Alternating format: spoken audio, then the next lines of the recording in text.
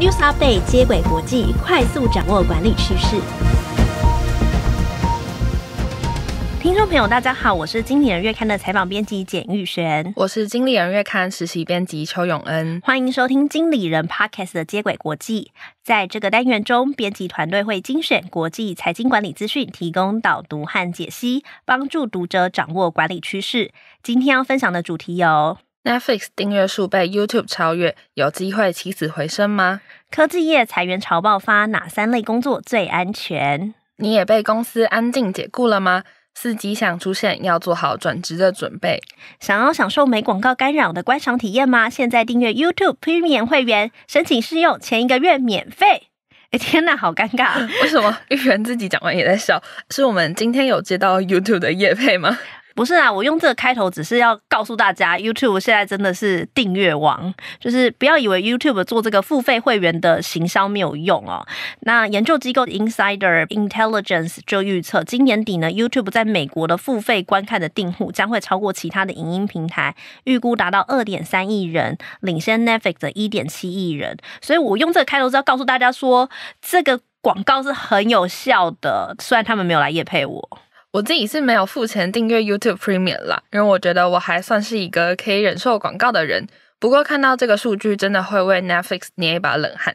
所以今天的第一则新闻，想要跟大家分享的就是，面对来势汹汹的 YouTube 和 Disney Plus，Netflix 要如何扭转劣势，再创订阅数的高峰。其实之前接轨国际就常常一直 follow Netflix 的消息嘛，因为 Netflix 最近期的订阅户数其实一直逐渐的下降，然后我们很担心它，也不是说担心啦，就是一直在关注它，因为疫情稳定之后，大家就不想要一直待在家里看影视平台，就想要出去晃晃嘛，所以呢就有一波退订潮。那 Netflix 呢，今年的前两季的订阅数是下滑的，但好消息是第三季的 Netflix 订阅数增加两百四十万，一扫呢第二季订阅数下。下滑九十七万的阴霾，那而且呢，Netflix 在十月给股东的信就提到说，他们会回到订户加速成长的路上，获利也会提升。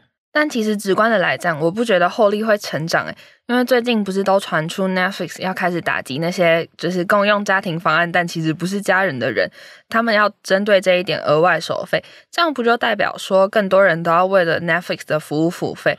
大家不会想要因此而退订吗？哎，我觉得永恩的这个是一种思考角度，但是你换个角度想，Netflix 它可以打击幽灵账号，那也就是说这些幽灵账号都要付费，那 Netflix 不是赚更多钱吗？不过大家真的会好奇 Netflix 要怎么扭转劣势，在第二季创造佳绩哦，因为它已经衰退了两季嘛，然后营收报告也不是太好，但第三季呢，就突然间突围冲起来，这边怎么做到的呢？那我这边想要先跟大家补充一下哦，为什么我们看 Netflix 的营运表现要？看它的订阅数，因为它跟另外一个串流平台叫 Disney Plus 的经营模式不大一样。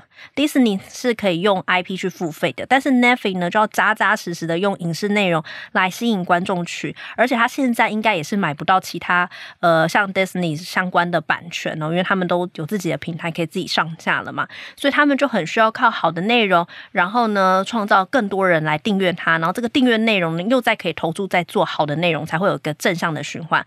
BBC 报道。呢，就分析 Netflix 第三季的成功关键呢，在于呢，它让客户呢更不想离开你。诶，什么叫做让客户更不想离开你呢？嗯，Netflix 的第一个做法其实有一点贼，就是他们利用剧情啊，把集数拆开。大家会发现，其实很多很好看的影集，像是《怪奇物语》啊，或者是《华灯初上》，还有最近的小女子，都会在那个最扣人心弦，或是你最想要看到接下来会发生什么事情的那个时候，就会告诉你说，哎，下一集要再等一周，或是甚至它直接切断一季，你就要再等一两个月才可以看到后面的剧情。嗯，这招其实蛮聪明的。我记得 BBC 在讲这个报。报道的时候，他有一个情境，他就说，你以前可能可以在呃 Netflix 上面就一次可以看到一整季，就十几集的内容，可是你现在呢，可能就是一次呢，哦，每一周推出两集两集，它就变得有点像是带状节目的方式。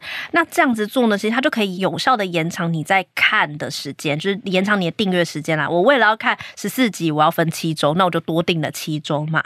这是第一个做法。那第二个做法会是什么呢？第二个做法呢，就是努力的去向观众推播自己的原创内容。Netflix 现在不只是让观众被动的在浏览页面的时候会看到平台自己的推荐，他们最近也推出了预览功能，就是当你把滑鼠的游标移在影片啊或者电影的上面，它就会播放那部影片的精华内容。借此延长用户的浏览时间，也让大家更能够确定的选到自己喜欢的内容，之后就会开始一步一步看下去，然后就会订阅了。嗯，我觉得滑到上面，然后先看预览内容还蛮吸引我的，就是我只要一看，然后发现啊这个就对了啊，这个画面很精彩，我就会点下去。可是如果它本来只是那种。定格式的，我可能就不会点，因为我看标题，我可能连它的剧情文字我都懒得看哦。那 Netflix 的第三招呢，就是推出更弹性的付费方案，像是十一月呢，Netflix 会推出广告订阅方案，什么意思呢？就是让消费者呢可以用更低价的方式来订它，但是呢，你要忍受影片开始之前或是观看影片中出现广告。我觉得这一招刚好跟打击共同用户措施可以做个平衡。直白来说，就是呢，你用。更便宜的方式订阅，但是不要给我看免费的。但是这样子，Netflix 要怎么吸引广告客户去买单？是他们会开始愿意公告自己的数据，让广告商觉得有利可图吗？我觉得永恩这一题问的蛮巧的，因为 Netflix 呢，就是打死都不公告自己的收视数据，他们其实对于自己的收视率什么都是保密到家，不会公开。所以你就算看到什么最热门的影集，你也会想说，那到底是多热门，到底是多少的点阅率，他不讲。但是呢，今年 Netflix 就改变了做法，他们十一月呢就与英国收视率调查单位叫做 BARB，也就是广播受众研究会签约，只要是他们的付费会员，就是那个 BARB 的付费会员，都可以看看到 Netflix 的收视数据。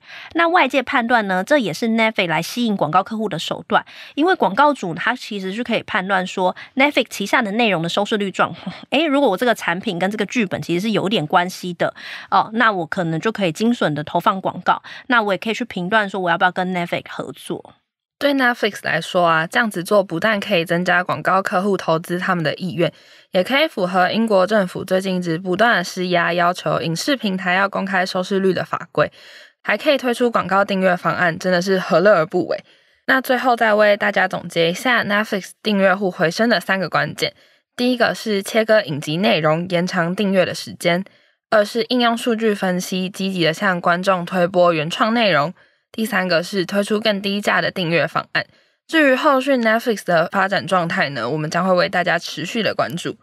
听到第一则 Netflix 第三季起死回生的状况，其实让我蛮欣慰的。因为听众朋友如果有听到今天的新闻的三个标题哦，一个就是解雇啦，然后不然就是什么裁员呐，就感觉都是很不好的消息。那至少第一则是正向的消息，至少呢 Netflix 的裁员幅度呢不用像其他的科技巨头这么的激烈。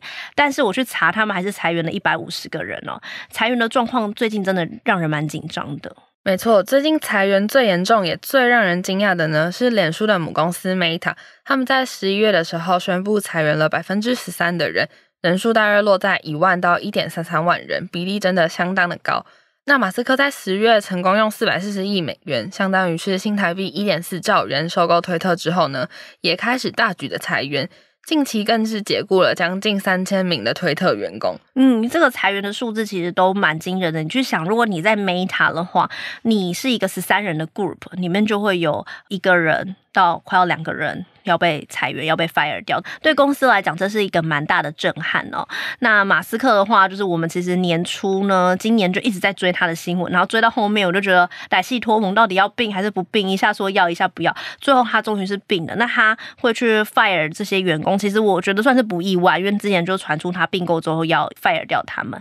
那我整体来分析一下，美国的裁员状况会这么严重，其实是因为他们的通膨非常的不妙，就是呢，然后政府。呢，为了要压抑呢通膨和物价上涨的压力呢，美国联准会已经连四度升息三码。那告诉你升息三码的意思，其实就代表说企业的营运成本会增加。那许多业者呢就纷纷吃不消，才传出裁员的消息哦，缩减人力的支出。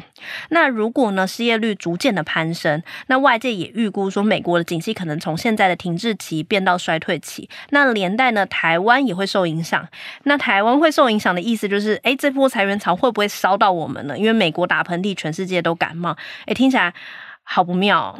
不是，现在快要到年底了，听到这种消息真的是会让人很害怕。哎，然后对啊，年终可能一裁就没有了。好了，但讲是这样子讲，我们还是要保持正向积极的态度。我还是想要知道，就是在裁员潮里面有没有最安全的工作呢？但听众朋友听到这里，会不会觉得我就是一个很有工作焦虑状况的员工？上一周跟大家介绍说哪一些员工不会被 AI 取代，然后这一集就想要知道有没有最安全、不会被淘汰的工作。我想永恩应该是因为你快要毕业的关系吧，你现在是大四嘛，对不对？对，所以应该蛮紧张的就业，然后所以呢就连带裁员，你也很担心说哦会不会找不到工作？但是呢，请不要把个人的焦虑带到工作上好吗？不过我还是要称赞你，就是在裁员潮底下告诉大家哪些工作是安全的，其实还蛮有意义的。而且呢，还真的有这样相关的报道出来哦。美国媒体公司呢，Business Insider 就采访了微软前人力资源的副总裁克里斯威廉斯，而且呢，就请他列出自己认为裁员潮下最安全和最危险的三类员工。最安全也比较不容易被裁员的工作啊，第一种是任务和公司目前的营收来源有直接相关的工作。讲白一点呢，就是你的工作可以帮公司赚钱，比方说能够维持公司业绩的业务人员。但是，但是，如果你是不会赚钱的业务，也还是有可能被裁员。天哪，真的很希望 YouTube Premium 来夜配 哦！如果没有夜配的话，就是感觉就是我们自己好像没有生产力。好啦，请请大家多多来支持一下。好，回到正题，那第二和第三类不会受裁员潮波及的呢，就是人资单位和财务部门的员工。那一种说法是说，这类的员工呢，因为他在组织中呢数量比较少，所以他就不会是开刀的对象。那第二种呢。你去想，财务人员呢，不只是因为他有技能，实际上呢，企业要把账和现金交给他们，其实是需要长期合作和值得信赖的关系哦。你去想，就是如果我的财务部门人员一直换，那我我的账不就是一直在外面被？公布嘛，被透明化嘛，对企业来讲的营运风险其实会增加的。同样道理，人资也是，他知道公司同仁的薪水，还有许多事情。此时裁员，他们不见得能够稳定军心。而且，组织如果要裁员的话，应该还是需要人事单位的协助，总不可能交给资讯部门来负责人力调整吧？哎，你这样讲也对啦，因为人资他们是最熟悉法律还有那些程序的人，那他们当那个裁员的刀也是很适合的。那其他人可能没有办法哦。那听完了好消息呀，现在我们必须要来面对坏消息了。到底在裁员潮之下，最危险的三类员工是哪一些呢？首先，第一类是活动企划，还有员工福利专员。因为公司如果今天预算快要不够了，势必是会先把员工福利的活动砍掉，去减少额外的支出嘛。所以负责相关活动的策划人员呢，也会因为手上负责的专案被取消，因此要面对被裁员的风险。第二种是负责新计划的员工，从刚刚最安全的例子可以反过来推断，公司如果要减少业务，一定会从比较新还没有完全成型的专案来，因为这些专案其实没有办法带来营收或是稳定营收的效果，所以负责相关专案的人员可能就有被解雇的危机。那最后一种最可能被裁员的类型呢，是约聘的员工。除了约聘员工本来就有比较多弹性，因此更容易随时被裁员之外，威廉斯也指出啊。约聘员工通常是组织用来应对紧急状况，像是大环境的经济衰退啊，或是公司周转不灵等等。也因此，当公司成功的度过这些困难的情况之后，这些约聘人员就会先被解雇。嗯，威廉斯呢就建议工作者们说，其实你不要太悲观。如果你属于这三类呢，可能被裁员的员工，其实你也不要太担心。威廉斯呢就建议工作者们呢，不管你的解雇风险有多少，你都要持续去更新自己的履历。比如说，你可以在 LinkedIn 上面制作一份档案，然后在上面呢记录你个人的经历还有完成的事迹，并且呢每个月定期的更新，这样子呢你可以吸引呢你的潜在雇主呢注意到你在你被裁员之前呢，你可能就已经找到新的工作了，就可以免于相关的危机。那最后总结一下三种最安全还有最危险的工作类型，最安全的工作类别分别是你参与的案子和公司的主要营收有直接的关联。那第二种和第三种呢，则是财务还有人力资源相关的工作者。另外一方面呢，在裁员潮比较危险的工作类型，第一个呢是规划员工福利活动相关的工作者，再来是工作内容主要是负责新专案的，第三种是约聘人员。听完和裁员潮有关的新闻啊，我记得之前我们在接轨国际也有讨论过安静解雇的议题。面对这种不积极进取的员工，相较于科技巨头采用比较直接跟正面的方式去把人 fire 掉，应该有一些公司是用安静解雇来逼退员工的吧？就是故意让他们的日子不好过，然后自己自愿离职。永恩，其实我觉得你不用担心你会被 fire 掉，诶，你还蛮有当老板的头脑。因为呢，就是老板除了用光明正大呢去 fire 一个人，你刚刚想讲的方式，其实就是偷偷的把他冷冻起来，用安静解雇的方式让员工自己知难而退。那因为你光明正大的 fire 别人，其实你会让这个公司呢留下不好的印象嘛，然后大家就会觉得说，哦，你这间公司啊，就是赚钱的时候聘人，然后不要的时候就把我们丢掉。可是如果你是用这种偷偷摸摸的安静解雇，然后是员员工自愿离职的话，公司呢就不用承受这么大的压力。而哈佛商业评论也指出呢，越来越多企业倾向用安静解雇的方式来处理哦，因为这个方式呢可以减少企业之前员工产生出来的财政、心理和法律成本。讲白一点，员工如果是自愿离职的话，组织很可能就不用付资遣费给他。这样看起来，安静解雇感觉会是未来企业裁员的另一个选项。那员工们要怎么去判断自己是不是？正在被安静解雇呢。哎，永恩，我发现你真的还蛮焦虑的，请不要这么担心好吗？你都还没入职场哎。但是真的有人针对这一点进行了研究哦。美国密西根大学的助理教授弗雷斯特·莫格森等人就盘点了工作者被安静解雇的现象。那以下呢，我们就举四个例子提供给听众朋友参考。第一个是工作职责发生变化，例如主管呢将重要的工作呢改分配给其他人，或者是订立不合理的绩效目标，让你没有办法达标。可能是主管呢要你承接一些跟工作职责不相关的业务，比如说我是编辑，然后他就叫我去做财务工作，然后讲说哈。我又不会算，然后这怎么怎么弄啊？啊，我理一理以后啊。好，那第二个迹象呢，是和薪资还有奖金跟福利制度的变化有关系。最直接的方法就是不调升你的薪水，因为这样做就等于说变相在减少你的薪水嘛，或是不让你参与额外的专案去赚取更多的奖金。还有一种呢，是发给你的年终奖金比预期的还要再低。第三种呢，就是跟员工的工作形态和条件有关，像是呢，我就改变你的工作时间，或者是呢，呃，比方说啦，我就把你原本呢都会加班，然后我就把你这个加班就叫你不要再加了，或者是呢，我额外的叫你加很多班，然后让你工作量大到无法负荷，然后你就觉得啊，算了，我赶快离开好了。那除此之外呢，我可能还会去收回你的停车位，就说哦，从今天开始你的停车费就不能停在这里喽，你自己去付。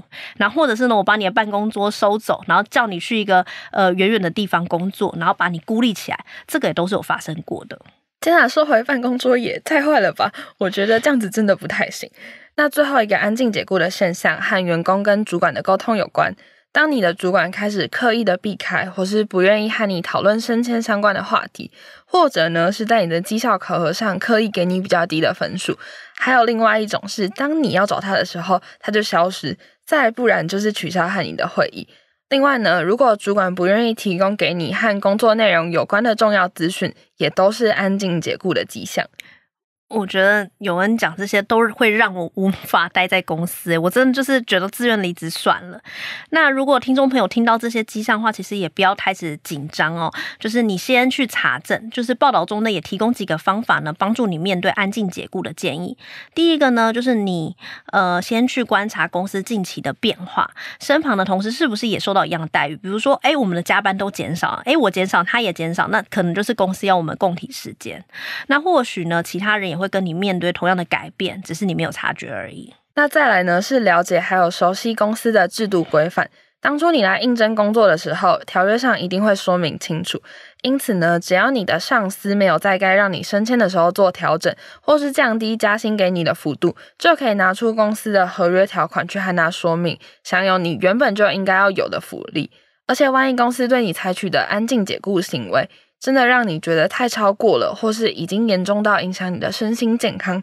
这个时候了解公司的制度，也可以帮助你之后寻求法律上的协助。嗯，也跟大家分享一下这篇研究很有趣的发现，就是呢，他们调查发现那些被安静解雇的员工，在转换到新的工作之后，其实反而得到更好的薪水，也获得更多的升迁机会，甚至呢，有些人还因此而达到工作和生活的平衡。这其实就是告诉我们说，虽然被组织冷冻真的是很美送、很不爽，但是换个角度想，如果呢，你原本就对现在工作呢很堵然，然后也有转。转职的念头啊，不如呢就把这个危机化成转机，让自己呢换个工作环境也不错。哇，这个真的是非常正向的结论呢。啊，永恩，你有没有比较不紧张一点呐？有有啦，有好一点啦。好，那请你为大家做个总结。好的，那最后再为听众整理安静解雇的四个迹象。首先是被要求负责和职称不相关的工作，第二个呢是不调整你的薪水，第三个迹象则是不合理的增加或是减少工作量，最后一个迹象是主管不提供给你和工作内容相关的重要资讯，还有避免和你讨论有关升迁的话题。不过呢，我们还是要对自己信心喊话，就是当我们已经善尽一切的努力改善自己的工作状况还有绩效表现。如果组织还是这样子对我们的话，就请你坚信，此处不留人，自有留人处，下个地方会更好。我觉得我们讲的真的还不错。好啦，今天真的很谢谢永恩的分享哦，有一个很正向的精神喊话。好啦，最后为大家总结一下今天的新闻，分别是：Netflix 订阅数被 YouTube 超越，有机会起死回生吗？